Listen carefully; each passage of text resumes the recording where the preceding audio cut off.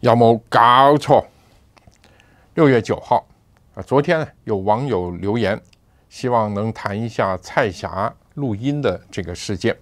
今天呢，原本计划是好好谈谈这个蔡霞，但在查资料的时候呢，就看到了阳光卫视董事长陈平的一个视频的节目，啊，让我有些犹豫。陈平呢和蔡霞关系很好，他证实说蔡霞现在仍然在中国大陆。所以他那个录音呢，其实是在一个微信群组中啊发出来的。本来说好啊，大家说好不要外传，但是还是被传出来了啊。可以想象他现在这个蔡霞的处境啊，应该相当的危险。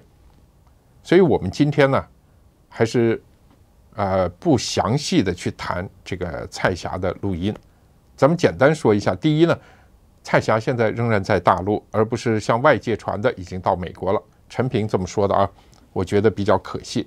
第二呢，蔡霞是红二代啊，以前在军队机构工作过啊，他是这个中共中央党校的党建教授。海外的人可能不知道什么是党建，党建就是专门研究中国共产党党内组织建设的，所以党建的教授，而且是中央党校的，发表了这样的看法，他说明。中共内部有很多人对目前中共的这个状况不满意，至于不满意的内容，大家很容易在网上啊就可以查到、听到这个录音，我们就不多谈了。第三呢，蔡霞的观点和他过去十多年的看法是一致的，他不是现在才突然觉悟啊。二零一六年他就为任志强说过话，对吧？任志强也是一个红二代了，是北京的地产大亨，人称。这个人大炮，他也是因为一个在小范围内批判习近平的文章被公开了，现在被调查，其实就是被控制了，是吧？当然，第四点也可以看出来，中共党内反习的声音呢相当强，像任志强啊，像蔡霞，加上我们刚刚提到的阳光卫视的陈平，这三个红二代都传达过类似的声音。他们几个共同的特点呢？当然，第一是红二代，对吧？都是党内的既得利益阶层啊，他们在体制内的安全感啊，比一般人更大，所以他们讲话就会更大胆、更敢说。别的人呢，就算有同样的想法，没有这个背景啊，恐怕也未必敢说那样的话。当然，我们希望蔡女士啊、任先生都能够平安啊。他们的事情呢，我们暂时吧就不多说了。我们还是谈一下香港。中共对香港不放心啊，很多措施似乎没有太大的效果，但是中共呢，他不会放手，对吧？会继续采取各种各样的措施。那我们今天呢，来谈一下中共未来会怎么样对付香港？他们会采取什么措施？采取哪一些手段？首先有一点呢是肯定的。就是中共他会收紧香港的自由，他不会放宽，不会放松，这一点呢是肯定的。因为中共治国，它有一套自己的东西，他认为自己那一套东西啊非常有效啊，他把中国大陆管住了，是吧？不但管住了，而且经济啊还大幅增长了，所以他认为他自己那一套的经验完全可以用到香港。那么这一套经验是什么呢？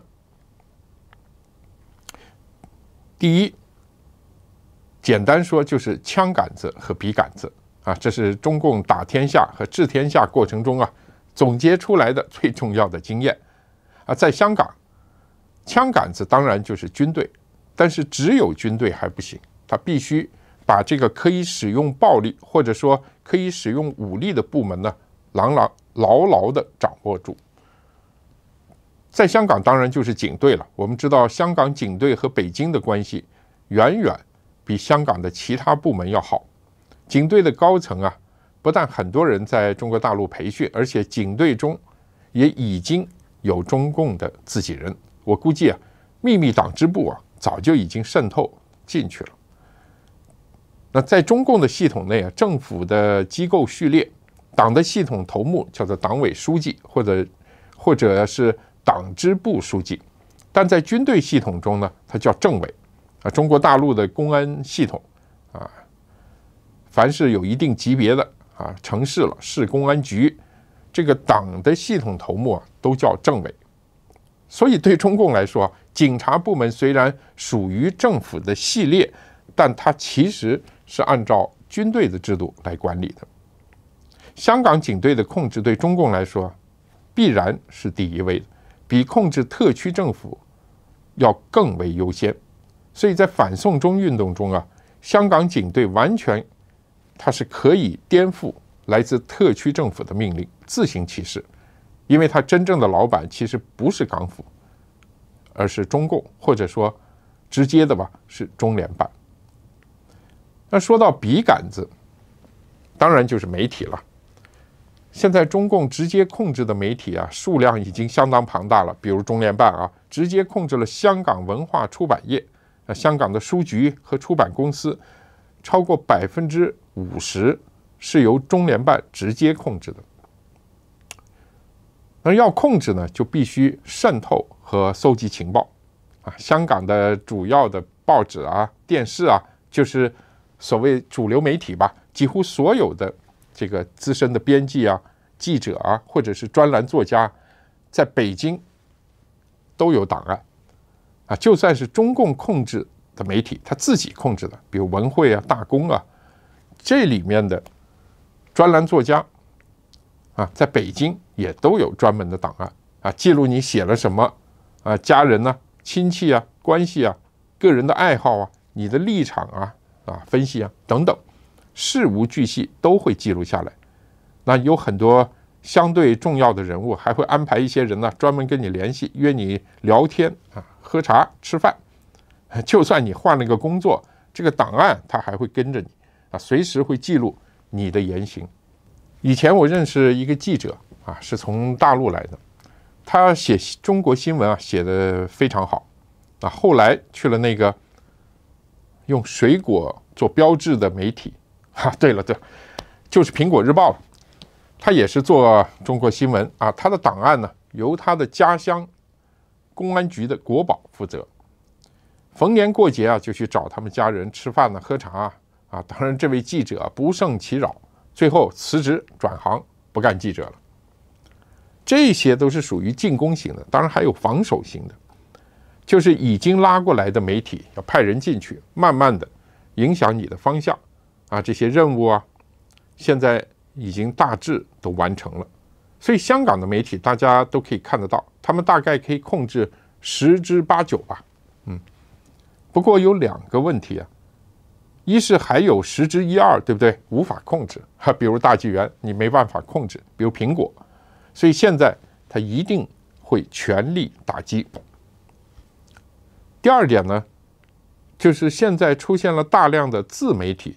这个对中共来讲是个新情况，很难应付啊。说起来呢，昨天也有网友问我，说这个肖若元啊，肖大侠的视频怎么了啊？今天看到消息说他在 YouTube 上面这个账号啊被黑客害进去了，里面两万多个视频都没了，现在正在加紧呢，啊想恢复。咱们也希望他能赶快啊回到咱们这个战场上来，对吧？当然，你看这也是一种办法，就是直接的攻击，对不对？过去大纪元也多次被直接攻击，比如火烧这个印刷厂等等等等啊。另外一个中共的方法叫做分化瓦解。中共的斗争经验就是先搞情报啊，要把对方分门别类了解透彻，然后呢，他会按照一个原则，叫做利用矛盾分化瓦解，各个击破。啊，他去用这个原则实施打击，怎么分化呢？比如说，他会派人来找你啊，跟你说，啊，你们的媒体啊，我们看了，主要内容啊，其实还好啊，有些立场偏激，我们也理解啊。他会跟你说，这个问题啊，是长期积累下来的，是历史形成的，一时半会儿啊很难解决啊。但中央这个意思呢，是什么什么什么什么？某某某啊，通常呢，这个某某某是很高的官员啊。上次跟我说了啊，以后可以给你们解决什么什么什么问题。但是，重点通常都在但是，大家知道，你们千万不要跟某某，啊，这个某某呢就是另外的那些敌人了，你千万不要跟某某呢搞到一起去了。如果那样呢，我们就没办法帮你说话了啊，等等等等。其实这样的故事非常多，在海外民运里面，呃，也很多人碰到类似的事情，有些直接告诉你我是。政治局常委啊，某一位大官直接派来的，他非常欣赏你，如何如何，然后就把前面的话哈说一顿。当然，应对的方法，对于我们来说，应对的方法就是求同存异，大家能够相互支持，最好了，对不对？就算不能相互支持啊，最起码不要相互攻击。这一点呢，我认为大纪元呢做的相当不错。那当这是媒体，其实，在其他的领域上啊，这种方法也是一个主要的方法啊。比如对民主派，他也是这样的。哦，我刚刚讲过美国哈，香港也是这样的。香港他会过来跟你说，他说民主的问题啊会慢慢的解决，但千万不要港独啊，不要用暴力。啊，如果你用了港独，那我们就没办法了，对不对？如何如何，他就他会赞同你。对港独的人呢，他可能会说另一套啊，比如说中央啊，知道你们年轻人的苦衷啊，一时冲动做有些事情做得过分，这个呢也是可以理解的。但你们千万不要跟那些民主派的人啊搞到一起去了，因为他们不是为了香港好。他们的目的呢是反共，是颠覆中央政府，是吧？咱们井水不犯河水，对不对？这样的话呢，如果是犯了我们河水，那北京只好用更强硬的措施。所以你们不要跟他站在一起了，诸如此类吧。反正每个人都有和别人不一样的地方，对不对？因此你有矛盾，挑拨这种矛盾进行分化，然后才能各个击破。啊这目前香港的情况，因为出现了大量这个以前中共他不熟悉、不了解的组织和人物，所以他们需要相当一段时间进行情报收集和调查，要分析、要建党。所以过去一段时间啊，很多年轻人会突然发现，哎，怎么有人跟踪啊？估计啊，就是这个原因，因为很多。老的那些民主派的人士，活跃了二三十年的那些人，他们没有被跟踪。年轻人刚刚出来的，对不对？就被跟踪了，因为中共他需要更多的了解和调查你们这些人，对所谓的对敌工作啊，刚刚讲，要对内部呢，其实他也有很多工作要做。对中共来说啊。成功的关键有三个，这是他们自己总结的。我们刚刚讲了两个啊，别枪杆子、笔杆子，是不是？还有一个，就是他的所谓组织。中共的说法是要坚持党的组织路线，啊，党的组织路线说起来内容很多，但基本上就是一条：要坚决服从上级。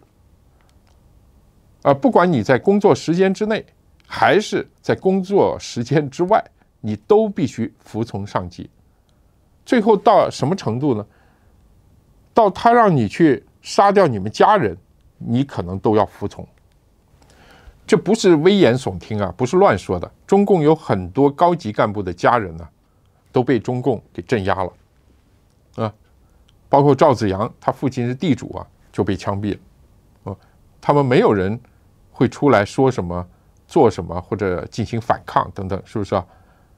这个是中共作为一个意识形态组织，它最成功的地方。在中共里面，这种情况表现非常非常多的。比如大家知道薄熙来啊，薄熙来在文革当中批判他父亲薄一波的时候，就曾经啊用脚踢断了他父亲的这个肋骨，结果他。据说了，传说，哎，薄一波说，这个薄熙来是我们这个孩子里面以后最厉害的因为在共产党里面，这是一个本事。嗯，当然也有失败的，但这是少数。比如西藏有一个反抗武装啊，叫做泗水六港，就是藏区东部的这个康区的游击队啊，泗水六港里面呢就有一个解放军的炮兵营长啊，这哥们儿是个山东人，而且是老八路啊，就是一九四五年前就加入中共，他的部队啊。在西藏和藏人打仗的时候，啊，他得到消息说自己的父亲呢被镇压了，一气之下直接跑到藏人那边去了，帮着这个康巴人打共产党，打了好多年啊，后来退到尼泊尔去了，啊，前几年吧，大概十年前去世的。当然，这种人呢 是极少数，啊，共产党这个内部的组织化。确实是非常成功和非常有效。一个共产党党员啊，他和你私下讲话再开明再自由，一旦有上级的命令下来，他一定会去执行。对香港来说，他们也会进行类似的这个组织化的工作啊，或者说再组织化。比如说十八万的公务员，你如何能保证这些人的忠诚？坚决执行中共的命令，怎么保证呢？这一些都需要一个长期的训练。我估计啊，未来中共必然会加强和强化这方面的工作。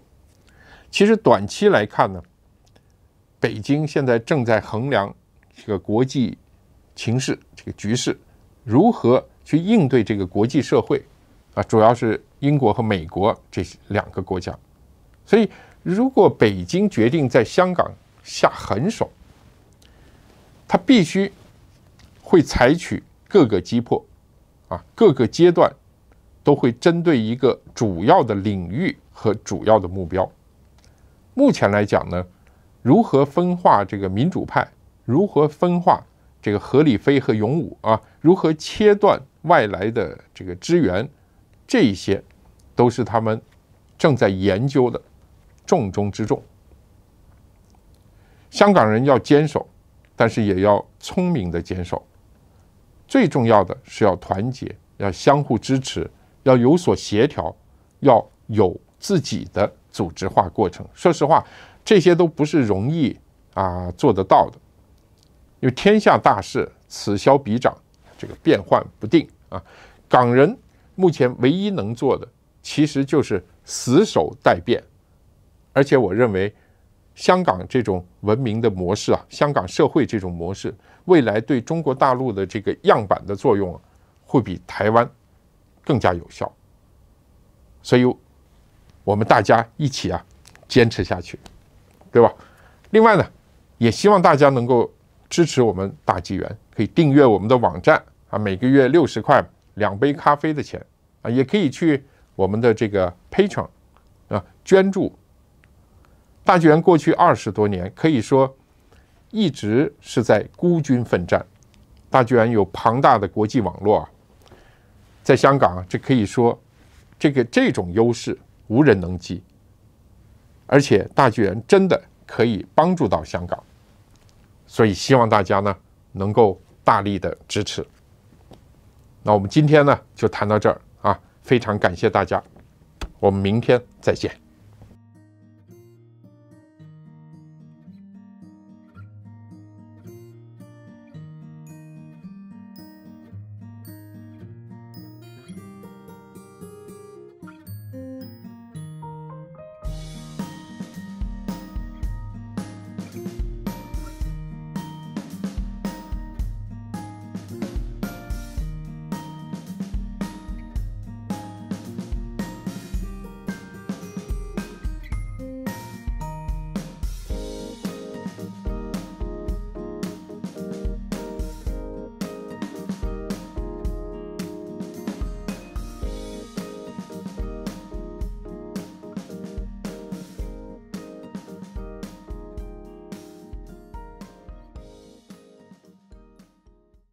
如果各位喜欢我们的内容呢，别忘记订阅、点赞、分享啊！您也可以呢在下面留言，有什么建议的话呢，呃留在下面，我们以后可以大家一起来讨论一下。守护真相，永不放弃。我们的坚守需要各位的支持。谢谢大家，我们明天再见。